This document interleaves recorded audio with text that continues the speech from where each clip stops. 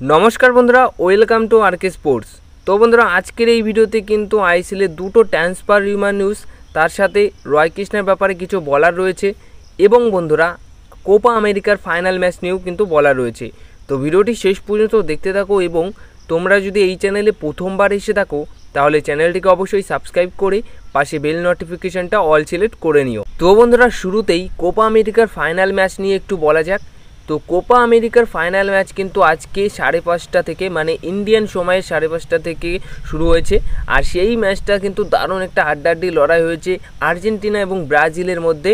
আর এই ম্যাচ সম্পর্কে বেশি কিছু বলার নেই, কারণ পুরো মানে এত সমর্থকরা জানি যে এই ম্যাচটার দিকে তাকিয়েছিল, ম্যাচটা দেখেছ সবাই, তো বেশি কিছু বলব না। যাই হোক মানে আর্জেন্টিনা কিন্তু ব্রাজিলকে এক শূন্য গোলে পরাজিত করে কোপা আমেরিকার ফাইনাল ম্যাচে কিন্তু ট্রফিটা জয়লাভ করল। আর বন্ধুরা, লিও মেসি কিন্তু তার দেশের জার্সিতে প্রথমবার কোনো ট্রফি কিন্তু জয়লাভ করল। আজকের কোপা আমেরিকার ফাইনালিস্ট বা চ্যাম্পিয়ন্স হয়ে কিন্তু মেসি তার দেশের জার্সির গায়ে কিন্তু প্রথম ট্রফি জয়লাভ করল। তো সেক্ষেত্রে দারুণ একটা মুহূর্ত মেসির কাছে। আর পুরো গোটা মানে সব জায়গায় সব সমর্থকদের কাছেই কিন্তু অনেকটা মেসি ভক্তদের কাছে কিন্তু অনেকটা ভালো মুহূর্ত। আর আজকে সারাদিন তো এই ব্যাপারটা নিয়েই থাকছে, কোপা আমেরিকার ফাইনাল ম্যাচ আর্জেন্টিনা জিতেছে। তো অনেক অভিনন্দন আর্জেন্টিনাকে। তো সেক্ষেত্রে বন্ধুরা, এবার তোমাদেরকে আইসিএলের যে তিনটে আপডেট নিউজ দেবো, রিউমা নিউজ দুটো এবং রয় কৃষ্ণাকে কিছু বলার আছে। তো লাস্ট ভিডিওতে রয় কৃষ্ণাকে নিয়ে আমি শুধুমাত্র আপডেট নিউজ দিয়েছিলাম যে রয় কৃষ্ণের কাছে মুম্বাই সিটিএফসি দলের একটা অফার রয়েছে এবং মুম্বাই সিটিএফসি দল যে কোনো মূল্যে রয় কৃষ্ণাকে নিতে চায়।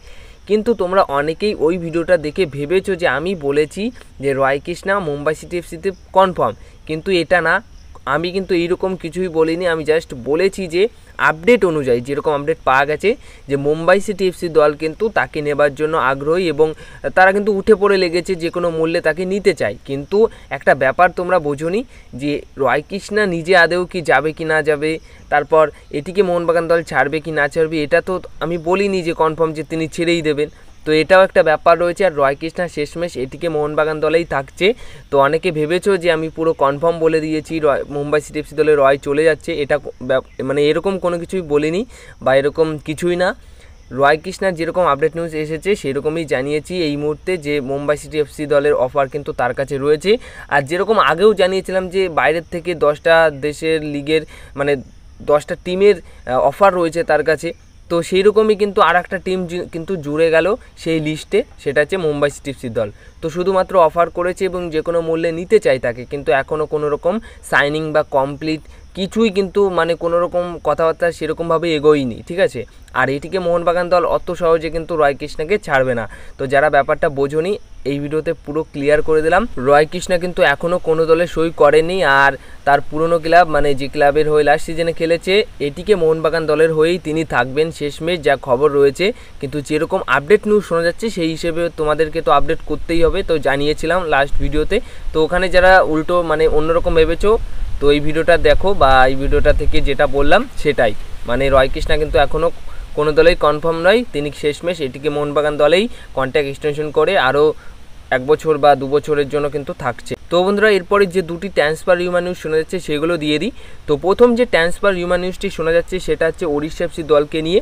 আইএসএলে মানে এক সময় খেলে যাওয়া, একটা সিজন খেলে গেছিলেন সেই প্লেয়ারটি বিদেশি প্লেয়ার তো সেই বিদেশি প্লেয়ারের একটা আসার সম্ভাবনা রয়েছে এবং সেই বিদেশি প্লেয়ারটির নাম হচ্ছে ভিক্টর মঞ্জিল।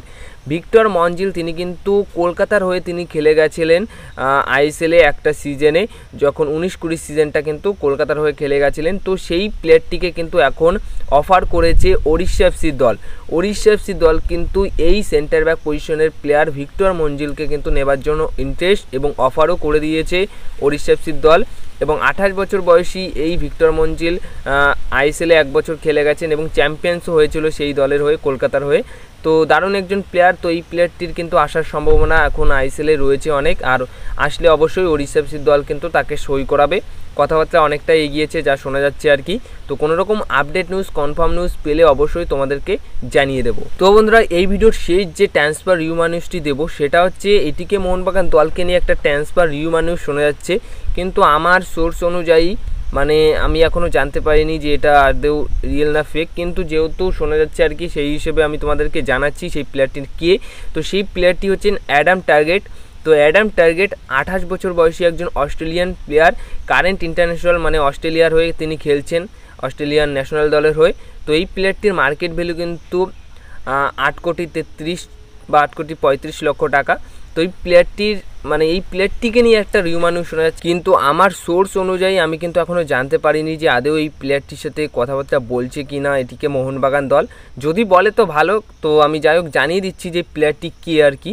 তো এই প্লেয়ারটি হচ্ছে অ্যাডাম টার্গেট। যাই হোক, আঠাশ বছর বয়সী একজন সেন্টার ফর পজিশনের প্লেয়ার তো যদি আসে তো অবশ্যই মনে হচ্ছে ডেভিড উইলিয়ামসের রিপ্লেসমেন্ট হিসেবে আসতে পারে বা তার জায়গায় খেলতে আসতে পারে। কিন্তু এর মধ্যে একটা ব্যাপার রয়েছে যে এই প্লেয়ারটি যে দলের হয়ে খেলছিলেন, সেই দলের হয়ে তার এখনও চুক্তি রয়েছেন আরও এক বছরের জন্য মানে জাপানিজ লিগ খেলছেন। তো এই প্লেয়ারটিকে যদি তাকে দলে নিতে হয়, এটিকে মোহনবাগান দলে, তো আট কোটি পঁয়ত্রিশ লক্ষটা লক্ষ টাকা তার কিন্তু এই মুহূর্তে স্যালারি তো তার পাশাপাশি আরও মানে ট্রান্সফার ফি দিয়ে তাকে নিতে হবে। তো বুঝতেই পারছ, প্রায় ন কোটি সাড়ে ন কোটি টাকা খরচা হয়েই যেতে পারে এই প্লেয়ারটিরকে নেবার জন্য।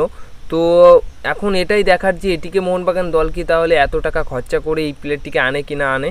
কারণ আঠাশ বছর বয়সী খুবই একজন ভালো প্লেয়ার যেখানে আনলেও আনলে কিন্তু খুবই ভালো হয়। কিন্তু এখন এটাই দেখার যে এই প্লেয়ারটির পেছনে এত টাকা খরচা করে তাকে আনে কি না আনে, তো দেখা যাক কোনো রকম আপডেট নিউজ বা কনফার্ম নিউজ কিছু যদি আপডেট নিউজ জানতে পারি তাহলে অবশ্যই তোমাদেরকে জানিয়ে দেবো।